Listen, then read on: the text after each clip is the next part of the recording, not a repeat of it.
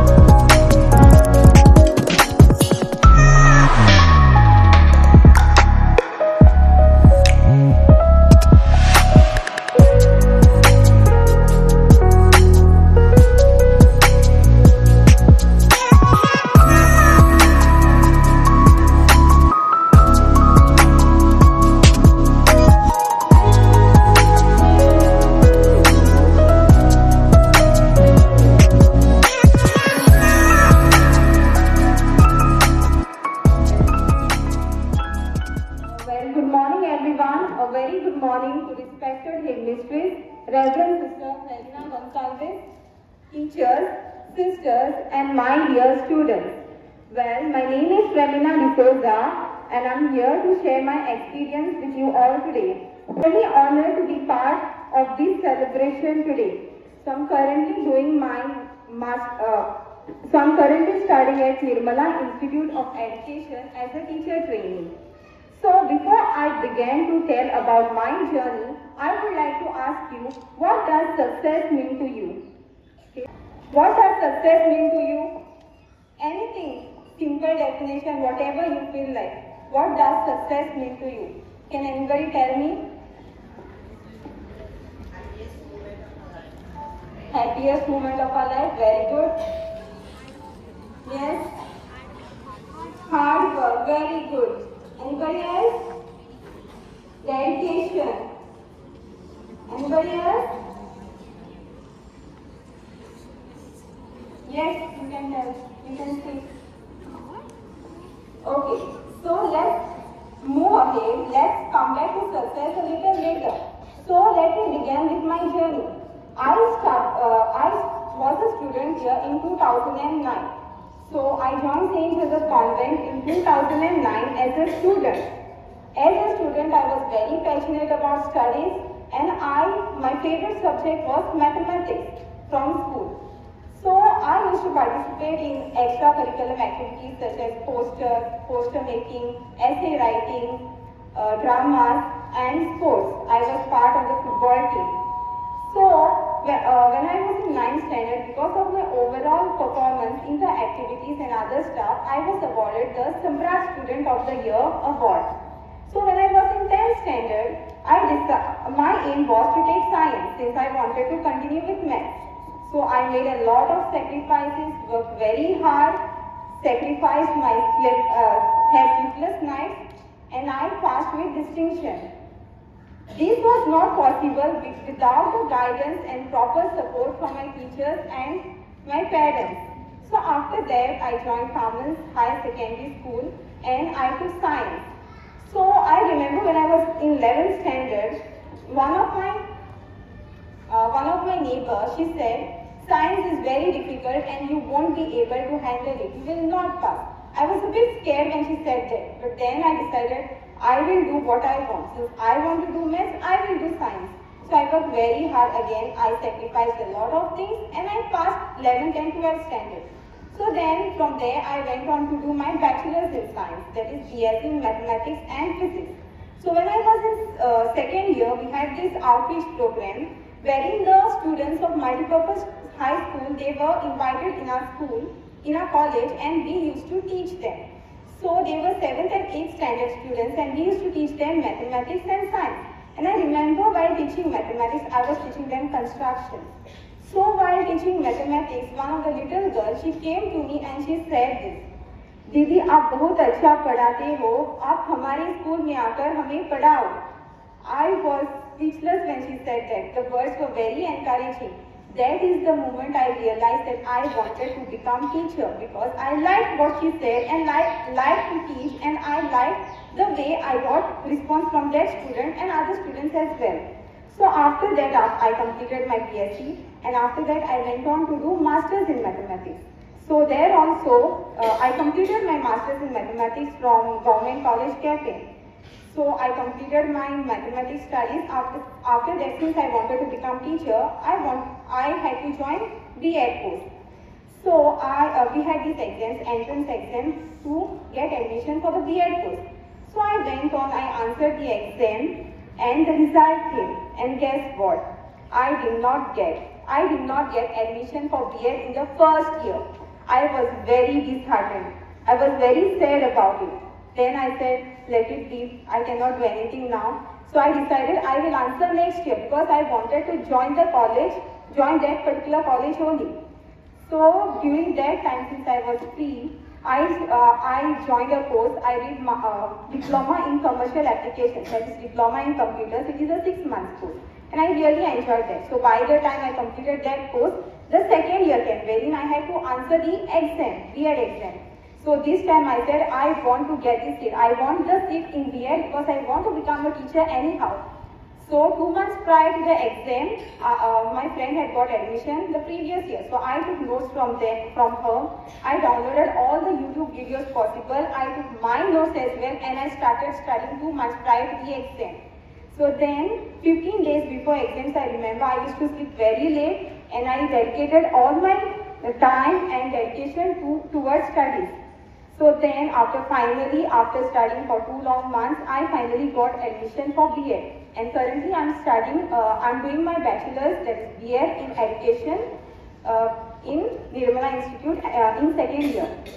So for me, I had asked you all about success, right? For me, success was not only about success, it was about my failure as well. Because all these years I only experienced success. But when I did not get for that was the first time I experienced failure.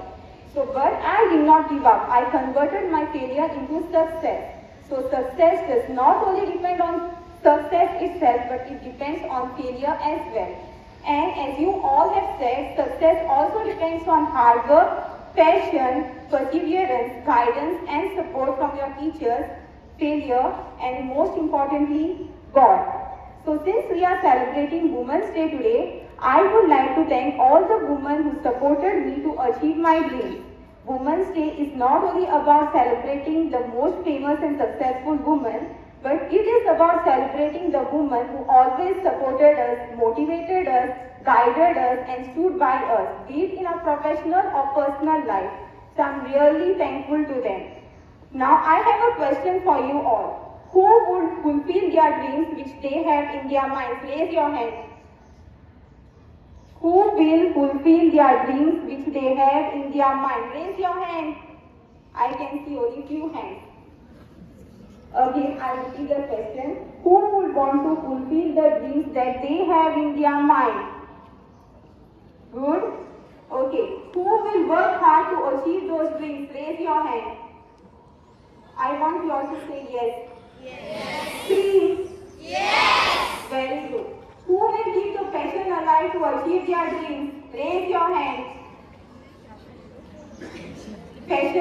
Dedication towards what you want to achieve in life. Raise your hand. Who will keep your passion alive? I want a yes. Yes. Little louder. Yes. Very good. So God has plans for each one of you present here. And it takes a lot of hard work, a lot of sacrifice, a lot of dedication and a lot of passion to achieve what you want to achieve in life. And my dear students, I just want to say one thing. Never ever give up on your dreams until you achieve them. Lastly, I would like to thank Sister Clarina and Teacher Christine for inviting me for today's program. I really feel great and honored to be part of this beautiful program on Women's Day. Thank you so much. God bless you all.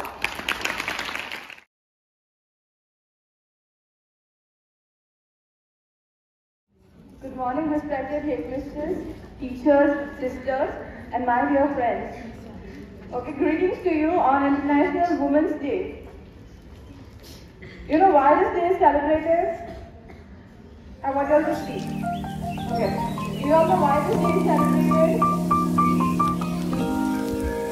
Yes? True. Okay. So we celebrate this day in order to mark the importance of a woman in a life, right? Are women equal to men? Some cases yes, some cases no. Right? But do you all have the power to make something or make a change in the society? Yes. Yes, right? Do you all believe? Yes. Do you? Yes. Okay.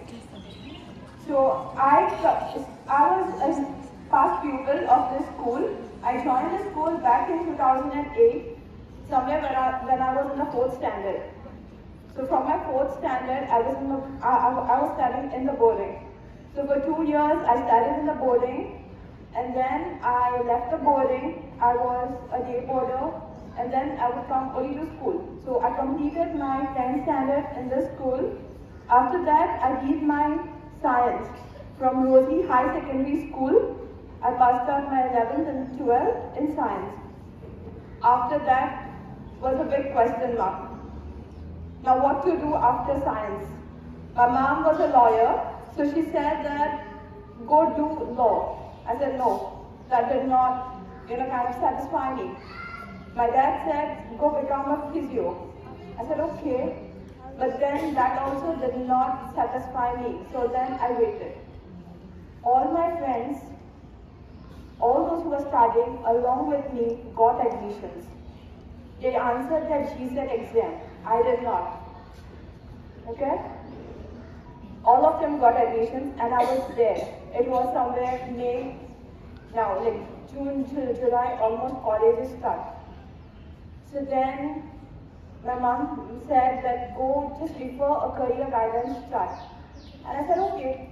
And I saw somewhere over there wherein there was after your science, after you complete your 12th standard science, you can do BS in agriculture. And I love nature, I love roaming. And I said, okay, let me give this a try. And I knew that there was this particular agriculture college in Goa, and it was in the midst of a forest in Sulcorna. Have you all heard, like, you all are aware about the place called Kepe in Goa? Yes. Okay. Netravali? Heard about it? It's a wildlife sanctuary. Somewhere very close to that wildlife sanctuary was my college. And I pursued my BSc in agriculture from that college. So finally, it was the fourth year of our college. And that time only, it was the pandemic that time. And then we had to go online. So online, you know how difficult it was, right? Was, was it easy? No. Okay. So I completed my rural work experience program. That is, we had to stay with the farmers, experience their life, give them our knowledge, whatever we learn, whatever practices we learn in our, school, uh, in our college, and also learn from them. Learning goes two ways, right? Yes or no? Okay. So we, we had to learn from them too. So finally my seventh semester was done. Now was my eighth semester wherein we had almost 13 different types of courses and we had to choose only two. So I took one was food processing and the next one was vegetable growing. So when we take up a course, we have to complete it. Like right from land preparation till the economics and the sale. Easy? No, right? Okay. So we have to maintain each and every record of everything from how the land is prepared, what is used, how much is used, everything. And based on that, we have to run a costing. So later on, finally, like the end days came, wherein I had to submit my reports, I have to file up everything, sell my produce. Then I thought, why don't I have my brand name to sell my produce? Now I made pickles, I had made like two, different types of pickles, I had my vegetables to be sold. I just did not want them to be sold saying that, oh, mujhe chhezriyan di baji. Feels good always. All feel good? If you all have a motive to make your own brand, to, all feel good to just sell the produce in the name of like, okay, We just made because it was extra, so I'm giving it to you. Will you all? No. So I wanted my brand. So as I was growing vegetables from home, I named my brand as Casa de Vegetais. That's in Portuguese. In English, it is House of Vegetables. So that is how I started up my business. Today I'm an entrepreneur. I started selling vegetables. I started selling my homemade produce from there. Later on, simultaneously, my other batchmates had taken beekeeping, studied about beekeeping, learned about it, heard at least about it. Do you all know bees? Are they harmful? Yes? They are not. Okay? Bees are absolutely not harmful. They are your friends. Okay? So, my friends had beekeeping course and their problem was they were doing it in college.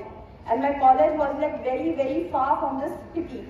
So for them to sell their produce was, was you know, a bit difficult. So I told them that I will give, give them a hand in selling like honey. So what I would do is like get 30, 40 kilos of honey all the way from Sulcorna and sell it here in Margao. Challenge? No, right? Easy? It is easy? Okay. So from Margao to Sulcorna, it is almost 30 to 40 kilometers. One way, not both the ways. So like going to that and getting the honey here and selling it was a task. I had to run my costing also. From there, I did mistakes. I failed in my economics, but I came up. I learned from those mistakes. Later on, I met my seniors. They asked me if I would like to sell some jaggery. All the way from Kanpon, they would supply me jaggery and I would sell it here in Margao. Next, I met another one of my seniors. Her name is Lisa Pinheiro. She is my teammate. Along with her, there are two more other team members named Vandit and Priyanka. They are also my seniors in college. So Vandit and Priyanka had their vermicompost unit and they made panchagavya. These are organic manures which they made in their farm. So they needed someone to market their produce. So me and Lisa helped him market his produce. So Lisa took over the north and I took over south. And now I'm having my own farmer's market in Kumpole. You all know where's Kumpole? Where is it? North or south? South. Excellent. North? Okay. So now I have my own farmer's market. I also go around guide people. You are okay, one question. How many of you all want organic? We speak about organic, organic. How many of you want organic? Only one? Only one? So you all want all pesticide and chemical food that you all eat, right? Do you all want to grow your own food? Okay. So for that, people take consultations from me. To grow their own food, to make their own gardens, to have even a small patch of gardens, people take guidance from me. And I guide them, I consult them, I tell them what are the replacements for those chemical pesticides or those fertilizers for which they can use organic manures in place of the chemical fertilizers. Okay? So I have made a step, I've taken this small initiative of providing people with something that is pure, that is organic, that is chemical free. And if I buy my produce from someone, I make sure that that person does not use any kind of chemical when they give that produce to me or any kind of a malpractice, adulteration, when they give that particular produce to me. I take note of this because my aim is to make, take a step in making Goa an organic state, which is the state in India which is which has got the title of an organic state. Do you all know? Don't know? Okay, Sikkim has got the organic state title. We want our Goa also to get, right? So what should we do? Spray chemicals. Yeah?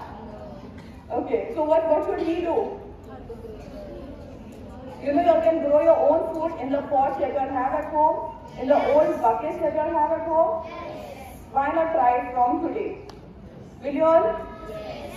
At least grow one plant, grow one vegetable. It's going to be sufficient for your family. Okay.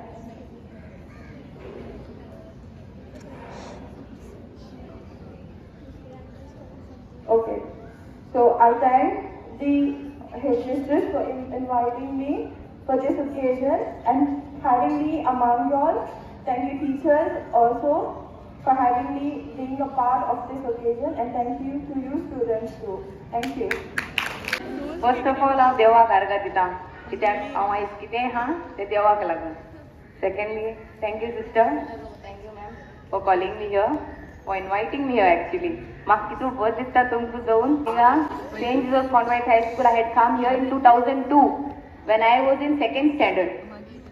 Okay, and I passed out in 2010. Okay, so I started, uh, I left, did my 11th, 12th, my graduation in GVM's college in Ponda. Then I thought what I'll do. I didn't had any idea what to do but when i was in 9th standard over here i had done my martial arts.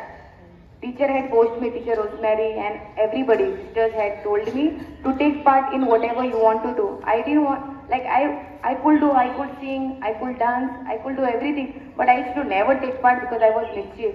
I used to do what you'll do, I will not do anything. I used to never take part in anything, but uh, teacher Rosemary used to always make me confident in uh, in telling me that you will be doing something at least. कितें नाल्यार कितें तूं कर आनी तूं वयर सरतलें आनी म्हाका दिसता हांव टिचरे लागून आनी सिस्टरे लागून आज हांव हिंगा कित्याक हांव एट इयर्स बोर्डिंग स्कुलान शिकलां it is not that easy to be in boarding school but म्हाका टिचऱ्यांनी सिस्टरांनी वाडय आय थिंक सो आतां कितें हा ते टिचऱ्या लागून हा सिस्टऱ्या लागून हा सो केन्ना तुमकां टिचर सिस्टर्स कितें सांगताय you have to always listen to them okay I will tell you about my training school in my Valpoi So I did my training in 2018. I had applied in 2016. First time I didn't get selected.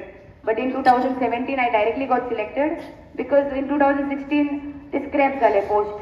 So 2017 again I applied and I got selected. 2018 I went in the training school.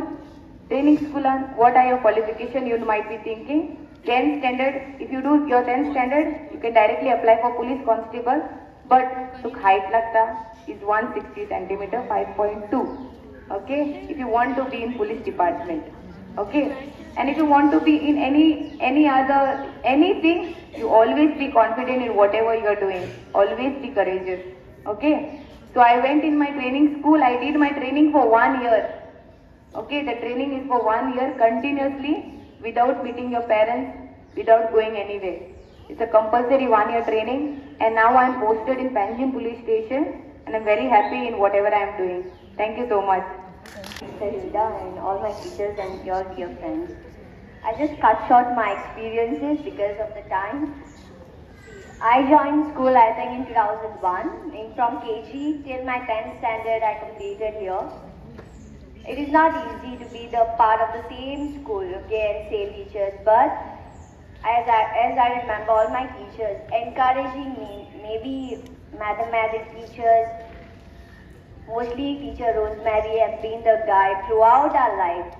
From 5th standard to 10th standard, she always motivated us. Sir Hemant also, when I was in school, I remember him teaching us maths. And it was really, when he was teaching us, still today I remember, I always tell my catechism to, uh, student also, It's not, they always say mathematics is uh, difficult subject, but it is not. It's like if you practice it, it is like, I feel it is easy. Till today, you don't have to uh, just go on practicing throughout your life, it will be easy for you. Okay, I completed my uh, uh, this thing uh, SC in 2013 with distinction, and then I took uh, science uh, in Pada Agnes, uh, passed out in 2015 with distinction only. Then after that I answered GTEC, and that that was the moment you don't know what happens. And uh, first failure came like my mother wanted to me to me to be a dentist. I just missed by one seat. Then uh, what to do later on? Then I, I wanted to be a civil engineer. Then I did my civil in Farmagudi, passed out in 2019 with distinction. After that, uh, That's like you search for the job. You don't know what to do. Then soon after that, pandemic came. I answered my interview, and after that, on March, I still remember, on March, I in March, I answered uh, the same interview. And soon after that, on 22nd, the pandemic came. And oh no, I lost my job. I passed out, I passed an interview and I lost a job. Then, uh, for two years, no work, nothing. After that, I, in that pandemic only, I completed my the same courses in software. Then I worked as an interior designer, one of the firm. After that, I thought like there's no interest in that. Then I worked in some of the other firms. Then now I'm working as a civil engineer. I got my TCP license and as a registered engineer, I do my planning at home. Sometimes I take a residential bungalow project and I'm happy with that. So student, I just want to tell you something. Stand up for yourself. Never think that someone, if anyone says something to you, you should believe that, yeah, in yourself. Okay, never think that, uh, never be dependent on others.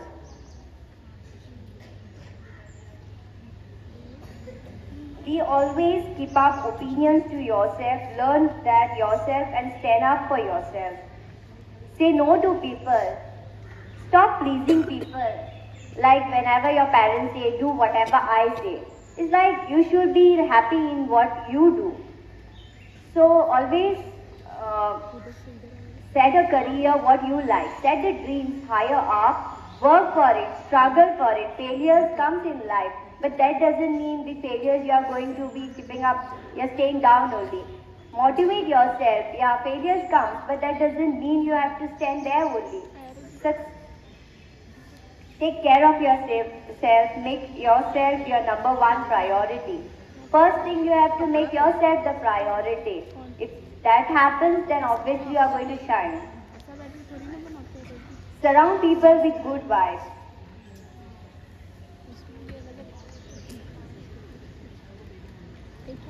Okay, and uh, always be always be supporting to your teachers because they take a lot of trouble bringing up yours.